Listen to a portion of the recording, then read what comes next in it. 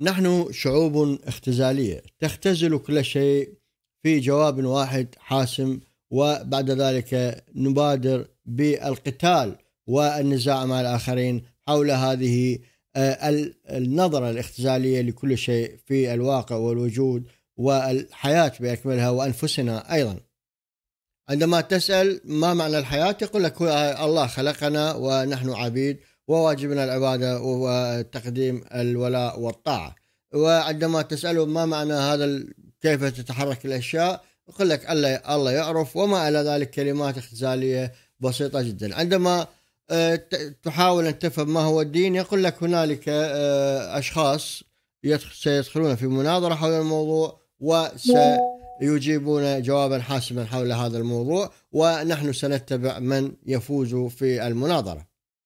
وهذا ما أسميه النظرة الاختزالية. وهذا الكلام آه، حدث عندما قرأت تعليقا للصديق ميستا ميست ميستيكاس ميستيكسام أعتقد اسمه 1500 قال آه، تناظر من؟ الموضوع كان حول آه، المحاضرة كانت بعنوان من يناظرني؟ وتناولت فيه موضوع آه، قال حدثني فيه أحدهم وقال أن لماذا لا تناظر رجال دين؟ من أمثال القنيبي وعدنان إبراهيم وغيرهم قلت أن هذا الموضوع ليس من اختصاصي ولا و لا لا جدوى منه أصلا لأننا ننطلق ونفكر بمنهجين مختلفين تماما. فقال لي هذا الشخص هو اللي هو الصديق متابع من من المتابعين المهمين للقناة يقول آه ها ما لا انتبهت اسمه مايستيك مايستيكسم. مايستيكسم أعتقد هذا اسمه يعني. 1500 وممكن تشوفونه موجود فوق يعني على الزاوية الفوق مكتوب يعني الحوار بيناتنا. فقال تناظر من وماذا؟ كل واحد فيهم فاهم الدين بطريقته ويقوم بتأويل النصوص على هواه كأنك تناظر مليون مذهب إسلامي ولن تنتهي من مناظرة هؤلاء. مثلا آه، عدنان إبراهيم لا يقبل حتى الحديث الصحيح. إذا لم يعجبه ويختلق الأعذار لكي لا يقبله آه، أي بمعنى آخر كل واحد فيهم آه، مخترع مذهب مطاطي يتغير ويتلون كل يوم. لا تدري فلا تدري في النهاية هل هو مسلم ولا هو صوفي ولا هو أفلاطوني. طبعا هي هذا هاي المفارقة لأن هؤلاء إيه أنا أقول عندي عندي مبدأ ثاني أتحدث عنه أقول بأن هؤلاء هم لا ليست لديهم أسس واضحة وراسخة. لا لا ينظرون إلى العالم بطريقة فيها آه، منظومة معيارية ومنظومة آه، أخلاقية ومنظومة فكرية منظومة فلسفية منظومة عقلية لا منظومة منطقية لا توجد لديهم هذا الشيء. كل المنظومة التي يقوم تقوم عليها كل علوم ما يسمى علوم في مجتمعاتنا أو في تاريخنا أو تراثنا بأكمله تقوم على آه، أسس واهية وفي آه، واهية وفيها مفاهيم. مطاطية لغوية قريبة إلى البلاغة وقريبة إلى وممكن لأي شخص أن يقرأها بعشرات القراءات. وهذا هو سبب الاحتراب المستمر بيننا. معنى معاني نحن لا نقف على أسس راسخة. هذا السبب الآخر الأكبر إنه هذا يؤدي بنا إلى أن نختزل الأمور بطريقة مجانية وسريعة واعتباطية. بصراحة اعتباطية آه، بشكل كامل. فقلت له نعم صديقي والسبب كل من كل من هذا الأمر هو أن الجميع الا قله قليله جدا يعتقدون أن أي قضية تتعلق آه، يعني يتعلق حلها أو يتوقف حلها على مجرد مناظرة بين اثنين أو ثلاثة. وما علينا كنحن كمتفرجين ومتابعين إلا العودة إلى الطريق الصحيح بالسير خلف المنتصر من بينهم. هذا النمط أسميه التفكير الخرافي. ما هو هذا التفكير الخرافي؟ ما, ما معنى هذا المفهوم؟ سأوضحه بعد الفاصل.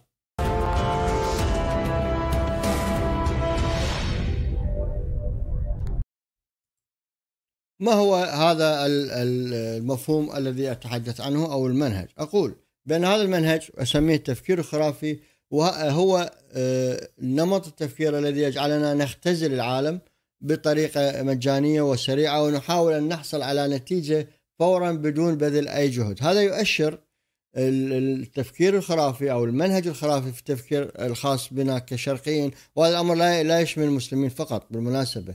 يشمل جميع الشعوب تقريبا التي هي لا تنتمي إلى العقل أو المنظومة الغربية بدءا من الفلسفة اليونانية مع وانطلاقا إلى الفلسفة الغربية الحديثة. هذا النمط تفكير هو نمط تفكير خرافي. هو يؤشر كما قلت عميقا لسبب تخلفنا. هو هذا النمط الذي يجعلنا لا نفكر بطريقة صحيحة. لأن حتى ديكارت عندما أقول أقول لك أنت عندما تريد أن تفهم العالم تغير لازم تفحص المنهج الذي تفكر به.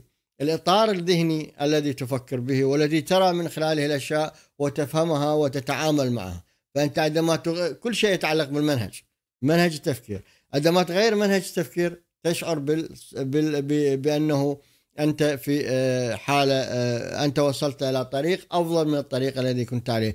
بالتالي مناهج الآن مناهج التفكير هي ليست هو طريق. يعني هو حتى واحد يبسط الموضوع. أنت مثلا الآن آه، عندك خلينا نضرب مثل بسيط. إنه أنت تريد تروح مثلا من مدينة لاخرى مثلا خلينا نفترض من بغداد إلى القاهرة. أو من من القاهرة إلى الإسكندرية فرضا.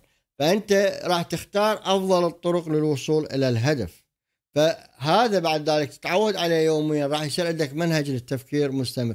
هذا المنهج يظل دائما يتكرر عندك بينما هنالك ما لا يحصى من الطرق للوصول إلى الهدف نفسه.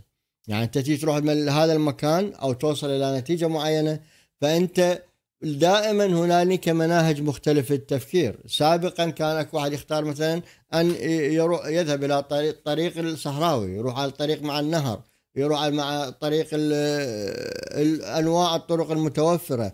آه، بعضهم يختار منهج يشق طريق لوحده.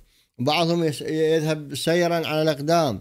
الآن مثلا واحد يذهب بالسيارة يذهب بالقطار يذهب بال آه، أو يختار طريقة أخرى للوصول. آه، لا تحصى طرق الوصول إلى أي حقيقة واكتشاف العالم بأي طريقة مختلفة. هذا على مثال بسيط العلاقة بالمكان بالانتقال المكاني. فكيف الحال بال بالانتقال أو بالتحليل والتركيب والتفكير؟ آه، في قضايا مركبة جدا. هذا يحتاج مناهج مناهج أكثر تعقيدا من مسألة مجرد انتقال مكاني. هنالك أبعاد مختلفة مكانية زمانية معرفية معلوماتية لها علاقة بالتجارب الشخصية عشرات القضايا كلها تتداخل مع فبالتالي الناس من حقهم عندما يختزلون. يعني لا نلوم الناس ونوبخهم لأنهم يختزلون ويحاولون أن يعطونا قناعات عامة ونتائج عامة. هذا من حقهم. لكن عليهم أن يعرفوا فقط بأن الموضوع دائما أي موضوع أو أي قضية بشرية أو إنسانية أو أو وجودية آه، أو حياتية هي قضية معقدة وفيها عوامل لا أول لها ولا آخر تتدخل. آه، فمجرد أن نفهم هاي القضية آه، نعرف بأن الأجوبة التي نقدمها هي أجوبة اقتراحية أو أجوبة مؤقتة. أما التمسك والتمسك بها والإصرار عليها فهو مو هدف يعني دائما تختلط الأمور. يعني أنا أنا أتمسك الآن بموقفي ليس لأنني مقتنع 100% بهذا الموقف لكن لأنني أريد أن أنطلق من نقطة آه، لكي آه، أعالج قضية معينة، لابد أن أنطلق من نقطة، لابد أن أقتنع بقضية، المشكلة يأتي رجل دين مثلا ويقتنع يقول لك هنالك إله خلاص. مثلا هذا الإله ما هو هذا الإله؟ يقول لك هاي مواصفاته واحد اثنين ثلاثة. آه، البقية عبيد وأكو مليون شكل من أشكال الآلهة. حتى لو إله واحد فأكو المليون طريقة تقدر تفكر بها حسب رجل الدين أو رجل السياسة أو الحكم الذي يريد أن يطبق شريعة إله معين فهو يطبق هاي الشريعة لكن هذا لا يعني لا يعني إنه هذا الحل النهائي هاي مواصفات الإله النهائية هو بالنسبة لهاي المواصفات حتى لو كان هذا الشخص نبي وقال أنا أتتني رسالة خاصة من السماء هو لابد أن يقول لك إنه هذه رسالتي هي رسالة نهائية وكاملة حتى يقنعك وحتى ينفذ مشروعه وحتى يضمن بأن هنالك من يطبق نظريته ودعوته الدينية أو دعوته السياسية أو عقيدته. هو مثل حزب سياسي يطرح مشروع ولكن لا يعني أنه من يطرح المشروع هو يعني جاية من السماء. فهو لابد أن يقنعك بألف طريقة حتى تمشي وراه لكن على الجميع أن يعرف بأنه المشروع هذا أو النظرية أو الدين أو المذهب أو العقيدة الجديدة ليست مقدسة. التقديس مسألة ظرفية لإدامة العمل وإدامة التواصل وتوحيد الجهود وإدامة التعاون وعدم الخلاف في النقاط الأولى. لهذا السبب الدساتير عندما تضعها الشعوب تضعها وتجعل من الصعب جدا تغييرها لأن الدستور يوميا يتغير. هاي مشكلة خطيرة. هي هاي القضية بأكمل اللي إحنا متورطين بها. هذا الاختزال الذي يتبعه الناس صدقوا بأنه هذا الاختزال مسألة أبدية وأسلوب في الحياة وفي التفكير وفي العمل وفي النظر. وهذا بالحقيقة لا لا وجود لهذا الشيء. هذا أنا اللي أشير إلى هاي المسألة إنه أنت عندما تعتقد بأن هنالك أن الموضوع كله يتعلق بالدين الحياة والوجود كله يتعلق بالدين وأن لا طريقه غير الطريق الدين. لا أثبت الواقع بأن القضية أكثر تعقيدا من هذا بكثير. وعندما يأتي والناس بأغلبها يقول لك تعال أنت تناظر فلان. هي المسألة ليست مناظرة. يعني ليست أنه أنا أناظر أحد أو يناظرني أحد أو أنت تناظر احدا وتعتقد بأن من واجبك أن تتغلب عليه. هذه آه، لا آه، مسألة خرافية ويجب أن نفطن لها ونتأملها آه، يعني أدعو لتاملها على الأقل بغض النظر عن كلامي هل كان مقنع أو لا لكن هاي المسألة يجب أن نتأملها كل واحد من عندنا بطريقته. هكذا يعتقد الجميع حتى اوضح الموضوع أكثر الجميع تقريبا إلا قلة قليلة جدا يعتقد أن أي قضية تتعلق أو تتوقف بمناظرة بين اثنين أو ثلاثة أو أربعة أطراف وما علينا إلا أن اتباع من ينتصر وبالطبيعة. والحقيقة إحنا ما راح نتبع إلا من نعجب به. ليس لأنه لديه منطق أسلم وخيارات أفضل بل لأننا متحيزون له. أما لأنه من أبناء منطقتنا أو من أبناء مذهبنا أو عقيدتنا أو عشيرتنا أو جماعتنا أو شركتنا فنتحيز له. نميل عاطفيا وهي مسألة يعني آه، لا يمكن لا يمكن إنكارها هي موجودة عند كل إنسان لابد أن يتحيز. ما لا يوجد إنسان ليست لديه تحيزات بشكل أو بآخر حتى أنا يعني. ف آه، وأيضا المشكلة أكثر لا توجد تقاليد لدينا آه، تساعدنا على التمييز بين أنواع الصراعات. يعني هنالك صراعات مثلا آه، هي أصلا صراعات قوة. فمثلا الصراعات الرياضية فريقين يلعبون فهو أصلا أنت تتحيز للأقوى. لكن عندما الصراع الفكري يجب أن لا تتحيز لفكرة على حساب فكرة أخرى. يعني ليست هي لا تعتبر صراع إنما نقاش وحوار حول قضايا تشغل بال الجميع. فالصراع يكون ليس مع مع مع بين الأطراف الذين تفكر إنما الصراع مع واقع يعيشه الجميع وعليهم أن يجدوا حلول كافية له. فأنت يجب أن تناصر الجميع ولا أن تتحيز لطرف على حساب الآخر لكي يكون هنالك آه، أمل أكبر أو تفتح نافذة أمل أكبر لهذا لأطراف الصراع الفكري المختلفة لكي تسير القافلة البشرية أو السفينة البشرية بطريقة أسلم وأفضل. وليس أن تناصر هذا لأن الفكرة الرأسمالي أفضل من الاشتراكي ولا واليساري هذا أفضل من اليميني لا بأس أنا أيد اليساري أيد اليميني أيد المتدين أيد العلماني. لكن علينا أن نعرف بأن الهدف ليس تأييد هؤلاء ليس تأييد العلمانية ولا تأييد الدين. الهدف هو أن القافلة البشرية تسير بطريقة أفضل وهذا قائم على حقيقة أساسية قبل هذا وهي إننا اننا نعيش في عالم متغير وإننا لا نستطيع أن نختزل الأمور بالطريقة التي آه، تصورها القدماء. الاديان القديمة تصورت الأمور إنه حل واحد وانتهى الموضوع. هذا المنهج الخرافي الاسلامي ما هو المنهج الخرافي؟ حتى حتى اوضح واختم الموضوع. اولا يعتقد المنهج الخرافي ان هنالك مشكلة وأن هذه المشكلة يتصور فورا ما علي إلا أن أبحث عن حل لها وهذا الحل موجود لدى أحدهم. إما موجود في كتاب سحري يجب أن نبحث عنه يقال إن هنالك كتاب فيه مجرد أن تفتحه تجد الحلول على كل لكل المشاكل. فتح فال يعني. آه، أو ما أدري أكو تسميات أخرى. يعني فاحنا بالنتيجة هذا المنهج الخرافي آه، يخليك تتصور بأن الحلول ليست ليست موجودة في داخلك. لست مسؤولا عن وضع الحلول.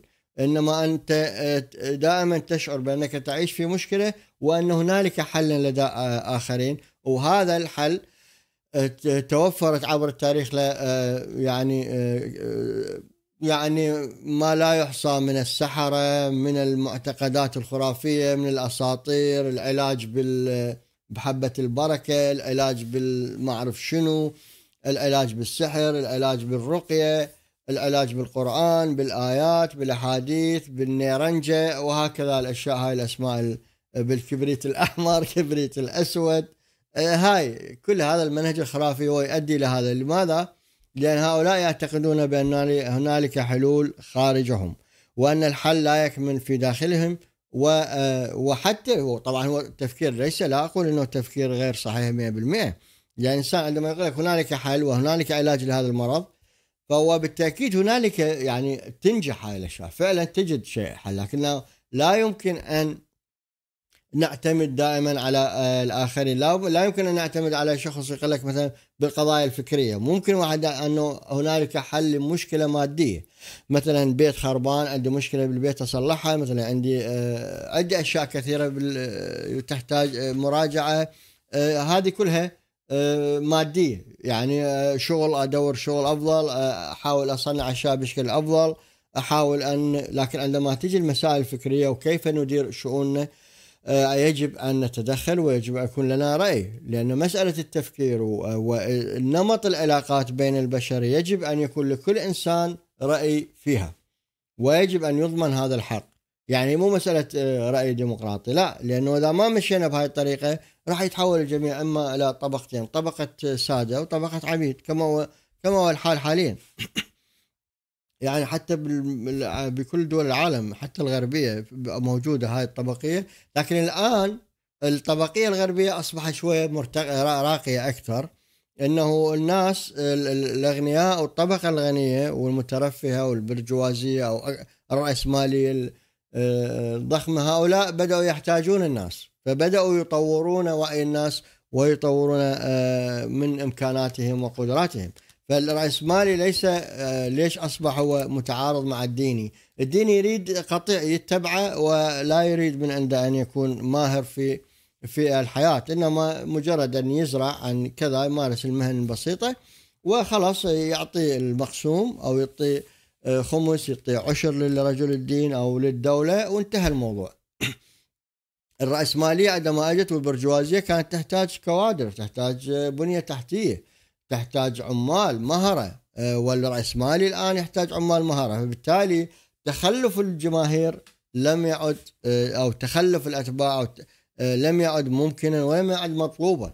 إحنا يقول لك أنا رأس مالي أريد ناس تتعلم. أنا ما أريد واحد يجي يتبع لي المنهج الخرافي. إن هنالك مشكلة وأنا مجرد اظل قاعد مكاني وأمارس عملي القديم أبيع طماطم أبيع طماطم أبيع خضار أبيع أفتح لي آه، أصير عطار وهكذا. لا هذا لا آه، لا يمكن بالعالم المتقدم الآن وجوده. لأن حتى اللي يبيع خضروات لازم يدخل دورة سنة أو سنتين يعطوه شهادة. حلاق يظل سنتين ثلاث أربع سنوات يفتح صالون ويطلع متدرب. وطباخ طباخ يراد له شغل خمس سنين ست سنين لازم حتى ياخذ شهادة يصير مساعد طباخ أو مساعد شيف.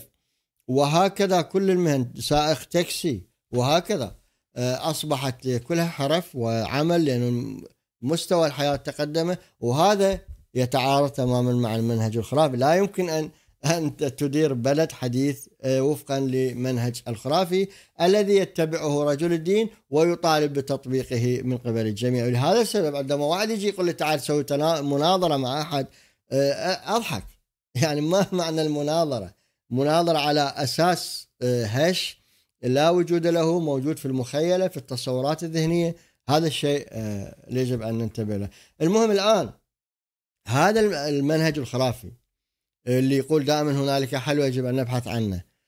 معناه هو آه، إحنا نؤمن بأن الحلول موجودة في الخارج. لهذا السبب نؤمن بوجود أن هنالك رجل الدين هو لديه جواب على كل سؤال. أحيانا يسألون عن أسئلة بسيطة جدا. كيف أتزوج؟ ماذا أفعل مع زوجتي؟ كيف أنام معها؟ ماذا ألبس ماذا أرتدي. يصل الأمر لهذا الاتكاء آه، والوصاية إلى حد يعني مقرف ويشعر الإنسان أو المتدين أو التابع بأنه ما زال في مرحلة بدائية أو ما زال طفلا في في الوعي.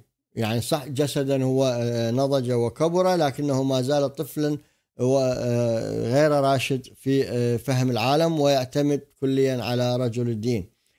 ورجل الدين مستفيد. يقول لك أنا عندي هذا تابع لي أحركه كما أشاء. ولا أحتاج أن أبذل جهد في تحصيل الأموال إنما هذا هو يعني زي الغنم أو زي يعني مادة مادة أستعملها كما أشاء. هاي كما قلت هذا أضرار المنهج. وعندما نيجي نسأل ما كيف تولد لدينا هذا المنهج؟ تاريخيا. ما هو تاريخ هذا المنهج الخرافي؟ ما هي أسبابه؟ ولماذا هو مستمر آه، مستمر حتى الآن؟ من يدعم هذا المنهج الخرافي؟ آه، سواء من قبل بلداننا المهيمن علينا الشرق آه، الشرقية أو الدول الغربية. ولماذا يدعمون التخلف العربي والتخلف الإسلامي؟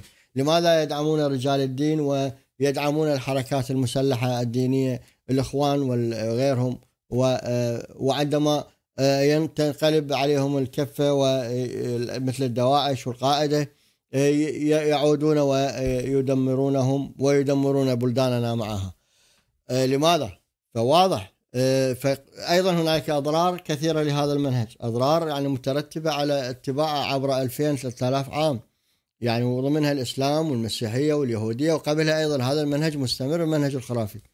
لأن الإنسان ما زال في طور النمو والتطور، إحنا متوهمين إحنا نعتقد الآن لأن نعيش بهذا العالم وغاطسين في ظروفه وتفاصيله، نعتقد إحنا وصلنا أقصى درجة من التطور، لا بالعكس ما زلنا ما زال الإنسان آه، قاصرا وفي آه، يعني منتصف طريق التطور نقدر نقول يعني.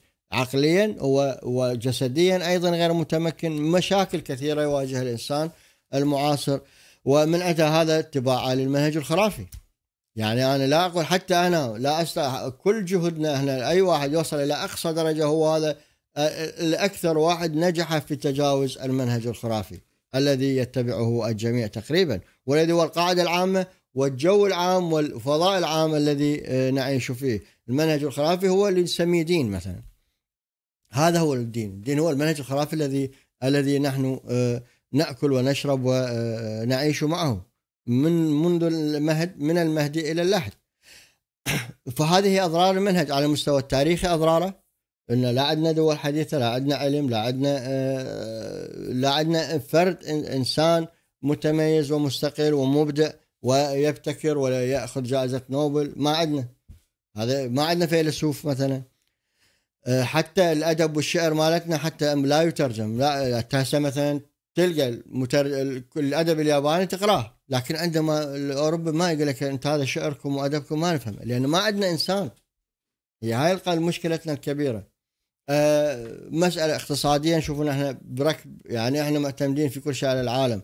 علميا إحنا قانونيا إحنا ما واصلين درجة الفهم بالقانون بسبب هذا المنهج الخرافي. المنهج الخرافي هو سبب اللي اللي دماء يعني حتى له أضراره الأمنية فيما بيناتنا لأن ما دام منهج الخرافي فما تقدر تمسكه. لا يوجد لا توجد سيطرة حتى القوانين التي التي استوردناها أو المنهج القانوني الذي آه، تسير عليه حكوماتنا ودولنا هو منهج هش ويخضع لرغبة الحاكم والحكام لأنهم جميعا صعدوا إلى مناصبهم وفقا لقواعد المنهج الخرافي الذي نتبعه وهو المنهج الديني ويسمونه منهج أصول الدين والفقه وما إلى ذلك. آه، وبعضهم قوانين العشائري. آه، فهذه هذه المناهج الخرافية هي هاي تفاصيلها عندما واحد يجي يبحث آه، يعني أنواع المخرج المنهج الخرافي الثانوية راح نلقاها مناهج أنواع دينية وأنواع آه، عشائرية وأنواع عائلية وأنواع تجارية وأنواع آه، طبقية أشكال يعني تلقى أشكال كثيرة. آه، لكن مع هذا لابد أن نعترف ان هنالك فوائد لهذا المنهج الخرافي وأن هذا المنهج يطبر الخلافات بين الناس ولو بالقوة. وبكل الطرق. طبعا لكن هذا في الحقيقة ليس هو ليست فائدة كبيرة لكن فائدة وقتية فقط. هو مجرد تأجيل للخلافات تأجيل للحقائق تأجيل ل آه، للنظر آه، وفقا للمناهج العلمية الحديثة الجيدة التي آه، تؤدي إلى نتائج وتعطي إحصاءات وتعطي قيم ممكن مراجعتها وتطويرها وتسوي تراكم عندنا إحنا شعوب بلا تراكمات لا لا توجد لدينا تراكمات معرفية. ندور كما يدور الثور حول الساقية. لا توجد اي لا يوجد يعني أفضل شيء نسويه نبني بنايات عالية. ونقول لدينا أعلى برج مثلا أو لدينا أطول جسر. هو بالحقيقة مو إحنا سويناه يعني. أو لدينا واحد بروفيسور مثل يجي قنيبي مثلا البروفيسور. هو عطار. عطار متمكن وأخذ شهادات وحول هاي العطارة على بطريقة منهجية. يعني ما ماذا من يكون يعني هو؟ هل ابتكر آه، يعني فرع جديد في علم الصيدله هل ابتكر حقل جديد لا. آه، فهو آه، يعني مجرد يعني هي حرفة. يعني مثل هو ما هو الطبيب والمهندس. صحيح ليس لا نبخس حقهم لكنهم في النهاية هم ليسوا لم يتفوقوا بالعقل النظري. لم يقدموا شيء نظري. هم لديهم خبرة مثل النجار تطوروا ويعشق النجارة ومصلح السيارات أيضا يعشق التصليح. راح أكو برامج جاهزة تعلمها قواعد العمل مناهج التح... وكلها مناهج علمية صرف. فهو لم يصل من عن طريق الدين لعلمه. وهذا كذا هذا بس الفوائد حتى ما أطلع بعيد عن الموضوع فوائد هذا المنهج الخرافي هي طمر الخلافات مؤقتا. لكن هي بالحقيقة تاجيلها هذا اصبح أصبحت فوائد المنهج الخرافي فقط مختزلة هي هي بدورها أيضا مختزلة في قضية واحدة هي القوة وفرض القوة وفرض شريعة الغاب على الجميع. هي ها إحنا شريعة الغاب بيناتنا هي القاعدة العامة لكن ماذا يحصل؟ هنالك الأسد الأسد الذي يفرض شريعته على الجميع. يعني شريعة الغاب موجودة بيننا جميعا لكن هنالك آه، من يحكم بين آه، هو الذي له آه، يعني قصب السبق ومن من الممكن أن يتغلبوا على هذا الحاكم الذي تغلب بالقوة أيضا. وهذا عين التخلف إنه أنت مجرد مبدأ القوة ومجرد والهدف حتى نفوز بهذه الفائدة الكبيرة إنه الناس لا ينقسمون ولا تتفرق كلمتهم. وبالحقيقة اجوا رجال الدين آه، يعني آه، يعني يعني أفسدوا الموضوع أكثر شرعوا فكرة إسقاط الحاكم. يعني لمن يثور على الحاكم يعني يجب قتله لكن عندما يفوز ويصل إلى السلطة هذا يعتبر شرعي لأنه الحكم لمن غلب. هاي خيانة حقيقية حتى لعقيدتهم رجال الدين ودعوتهم الدينية القائمة كما يزعمون على ضمان حقوق الناس والدفاع عنهم. وما حدث بالحقيقة أنهم راحوا يدافعون عن الحكام أو عن أنفسهم فقط بل لم يكتفوا بهذا بل حطوا من قيمة الناس واعتبروهم أتباعا وعواما آه، ينعقون مع كل ناعق وهذا هذا طبعا بدلا من الارتقاء بالناس بل أمضي أبعد وأقول فعلوا ما هو أسوأ جعلوا ارتقاء المؤمن وارتقائه الروحي والنفسي والمعرفي متوقف على درجة ولائه وتبعيته وطاعته لهم. كتبهم معروفة. منها كتاب الغزالي إلجام العوام آه، عن آه، علم الكلام. وممكن لا تردون نسوي لكم حلقة عن هذا الكتاب فضيحة طبعا. هذا قبل لا يتوفى بأسبوعين كتبه. يعني ما تقول آخر شيء كتبه. يعني تخيلوا المستوى يعني هذا نضح القريحة الغزالي كلها طلعت بهاي آخر أسبوعين من كتب الكتاب من وفاته. فعلى على هذا الأساس أود أن أعيد وأكرر أن إحنا شعوب اختزالية نتبع المنهج الخرافي المنهج الاختزالي أيضا نقدر نسميه و ونعتقد دائما بأن الحلول موجودة في كتاب ما في عند شيخ ما عند رجل ما. أما أن نبذل نبذل الجهد بشكل شخصي فهذا أمر لا نفكر به أو لم لا توجد مؤسسات تساعدنا على التفكير بهذه الطريقة. الشعوب الغربية تبني تبني الطفل من عمره ثلاث سنوات أربعة على حس الاستقلال وعلى العدة الاعتداد بالنفس والقدرة على التفكير بشكل منفرد وأيضا قدرة على التحليل النقدي والتفكير النقدي. بينما يجي واحد مثل قنيبي يقول لك لا يجب أن نلغي الفلسفة من المدارس. يجب نمنع تدريس الفلسفة. لماذا؟ لأنها تشكك بالدين يا ريت. وش بيه تشكيك بالدين يعني الدين يعني بالعكس المفروض رجال الدين يطالبون بتشكيك بالدين وهذا يعني أنت يعني والله تشكيك بالدين هذا شيء سيء؟ لا بالعكس. هذا سيء لرجال الدين للدين نفسه للناس جميعا لكل شيء. تشكيك بالدين واجب واجب على كل متدين بالعكس مجرد واحد يفكر بالموضوع يكتشف الحقيقة. لماذا لا نفكر بالموضوع؟ لا لماذا لا نعترض على من يقول أن هنالك طعن بالدين وتشكيك بالدين؟ ونقول هذا طبيعي يجب أن يكون هو نفس الغزالي يقول لا يجب أن نشكك بالدين. فلماذا لا نفكر بهذا الطريقة؟ لماذا؟ لأننا الكل يعلمنا رجال الدين يعلمونا على المنهج الخرافي والمنهج الاختزالي وشكرا جزيلا واسف على ومع السلامة. Música